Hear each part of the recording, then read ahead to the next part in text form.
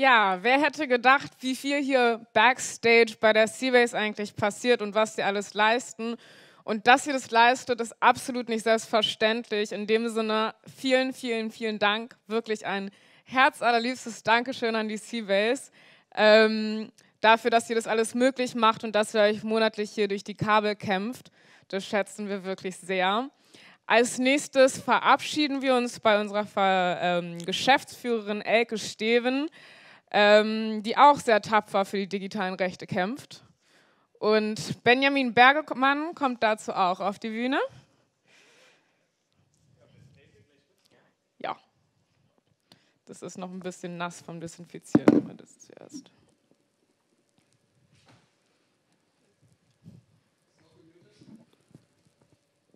Ja. Ja, es ist jetzt ein schöner und trauriger Anlass zugleich, zugleich dass ich hier die ähm, Verabschiedung von Elke anmoderieren darf. Und ähm, Elke, Elke Steven war seit 2018 jetzt unsere Geschäftsführerin, hat vorher zwei Jahre beim Komitee für Grundrechte und äh, zwei Jahre, zwei Jahrzehnte beim Komitee für Grundrechte und Demokratie gearbeitet.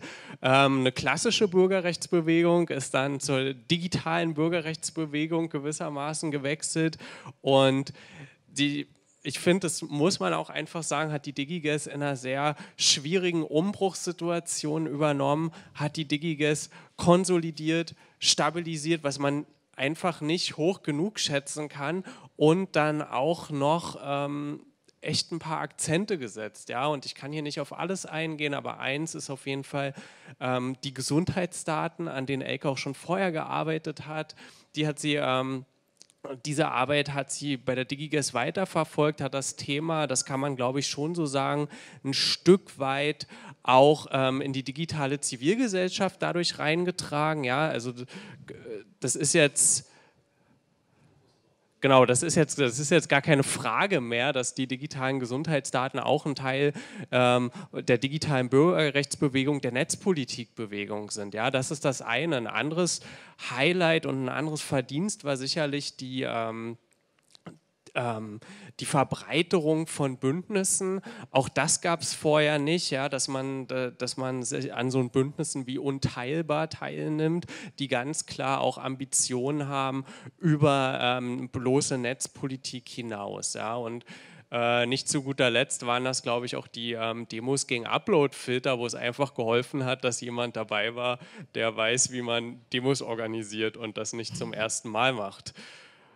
Genau, ich kann, ähm, ich kann Elke hier in den wenigen Sätzen gar nicht so gerecht werden, aber ich will eigentlich ähm, die Zeit nochmal dafür nutzen, nicht nur nochmal Danke zu sagen, das werde ich auch gleich nochmal machen, sondern auch nochmal persönlich zu sagen, dass ich glaube, ähm, ich habe als Vorstand sehr viel mit Elke in der Zeit zusammengearbeitet und glaube auch vor allem zwei Sachen gelernt oder zwei Sachen, ähm, ja, zwei Sachen gesehen bei Elke, die mich sehr beeindruckt haben. Ja? Und das eine, das eine ist ähm, politisch auf jeden Fall, dass Elke ähm, diese ganzen, diese ganzen Themen der Netzpolitik immer auch aus einem in einen gesamtgesellschaftlichen Kontext einbettet und sieht, ja, und das ist eine Perspektive, die uns, glaube ich, in dieser netzpolitischen Bewegung fehlt, ja, zum Beispiel bei den Gesundheitsdaten. Natürlich kann man die Digitalisierung des Gesundheitswesens, den Gesundheitsdatenschutz nicht betrachten, ohne die Entwicklungen, die sich da sonst ähm, im Gesundheitswesen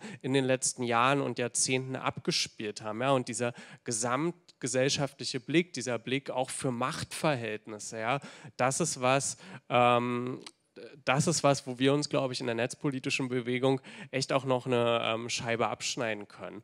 Und das andere ist eher was Persönliches, was ich immer sehr schön fand, trotz all des all dem Stress und diesen ganzen E-Mails und, und, so hat Elke oder nimmt Elke immer jedes Anliegen, einfach jedes Anliegen und damit auch jede Person mit ihrem Anliegen ernst. Ja, auch wenn es völlig abstruse E-Mail-Anfragen sind, Leute, die auf so ähm, Ständen, ja, auf irgendwelchen Veranstaltungen äh, kommen und ein, einem echtes Ohr abkauen. Ja, ähm, Elke nimmt das grundsätzlich erstmal ernst und ähm, ja, kommt den Leuten mit dem Respekt entgegen, ähm, der den Le Leuten letztlich gebührt, auch wenn ihre Anfragen vielleicht echt manchmal Murks sind. In dem Sinne, Elke, ähm, vielen, vielen Dank von mir, äh, vom Vorstand, von den Mitarbeiterinnen und Mitarbeitern und von den Mitgliedern des Vereins.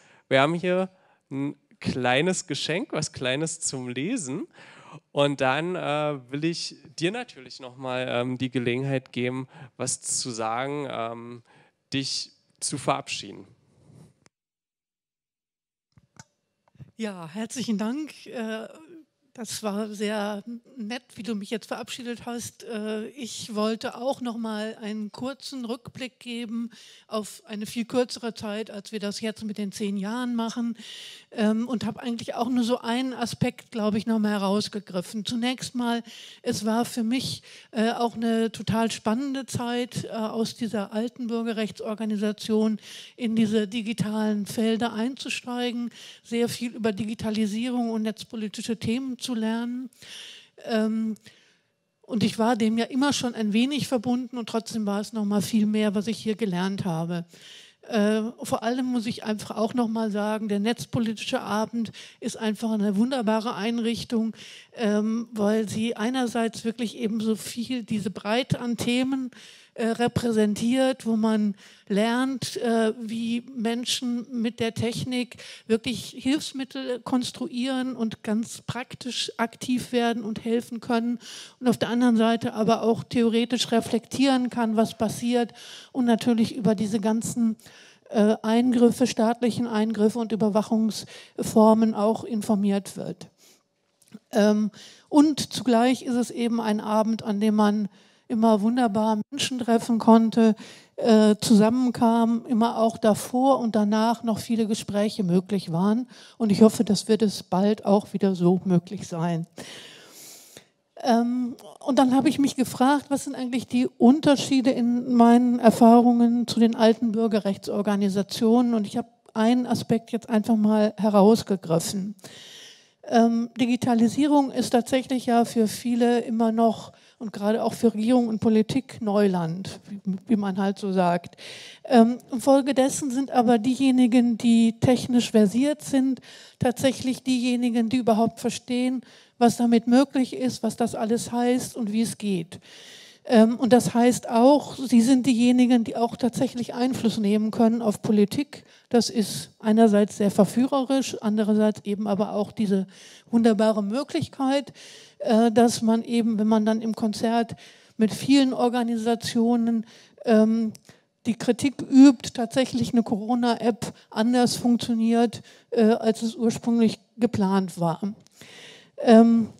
Aber auf der anderen Seite auf all die Entwicklungen in der Fragen von Überwachung, in der Ausdehnung staatlicher Überwachung, äh, da haben wir alle gar keinen Einfluss drauf, was tatsächlich passiert. Da können wir manchmal wirklich nur noch hoffen, dass Gerichte, also letztlich das Bundesverfassungsgericht, Grenzen setzt.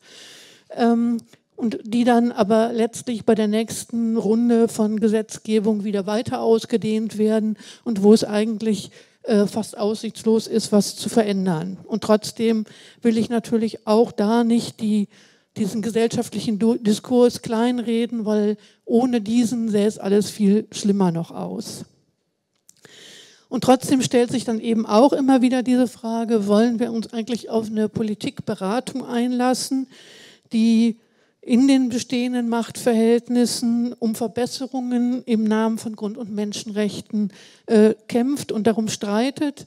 Äh, und die, aber diese Frage muss auch immer wieder neu gestellt werden. Es ist eben auch verführerisch, Anteil an der Politik der Mächtigen zu haben und damit ein wenig Einfluss zu gewinnen.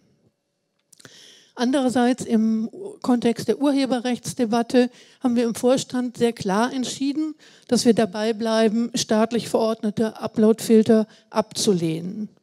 Unsere Aufgabe kann es eben nicht sein, mit, daran mitzuwirken, dass die nicht gar so schlimm sind und nur ein wenig die Menschenrechte, ver, äh, die Menschenrechte verletzen, ähm, weil eben eine Verletzung von Menschenrechten immer grundlegend abzulehnen ist und nicht äh, ein, Teil, ein bisschen dann doch noch geht.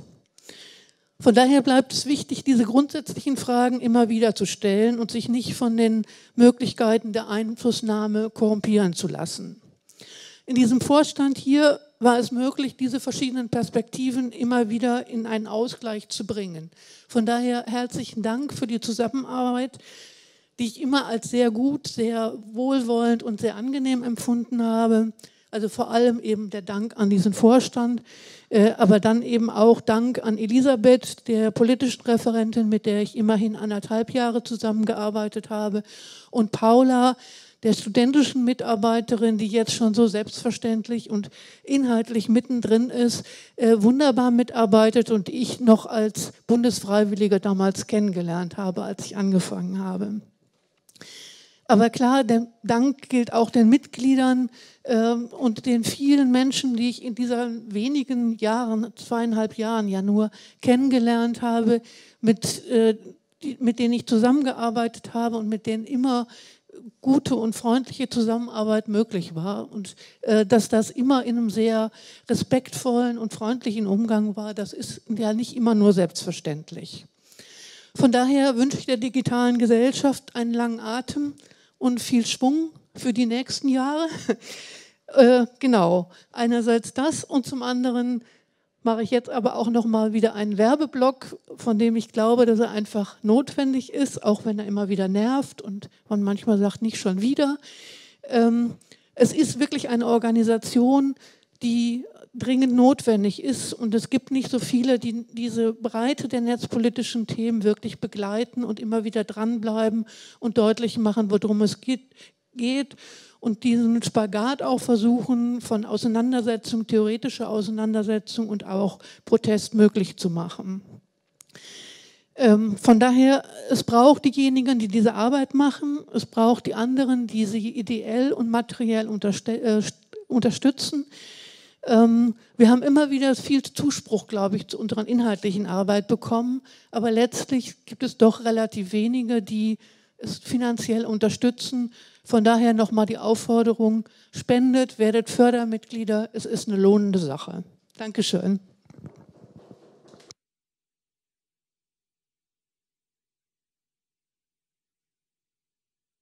Ja, Danke, Elke. Ich hoffe, du bleibst ähm, dem Verein natürlich erhalten. Das habe ich noch vergessen. Ja, ich hoffe, du bleibst dem Verein erhalten. Und Paula, moderierst du die nächsten, ähm, die, die, neuen an? Oder, ähm, ich, ich kann das, ja, ich kann es machen. Genau, dann, äh, dann würde ich nämlich an Paula wieder übergeben und äh, wir starten nämlich direkt in die Zukunft mit unseren neun und ähm, Paul hat die kurz nochmal anmoderiert, oder? Ja. Also das haben wir jetzt nicht abgesprochen. Okay. Kann ich gerne machen. Ah, der Abstand.